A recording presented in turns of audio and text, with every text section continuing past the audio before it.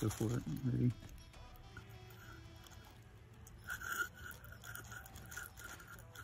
Weird people on the internet are gonna be satisfied by that. Oh, with babies. Oh yeah, look at that.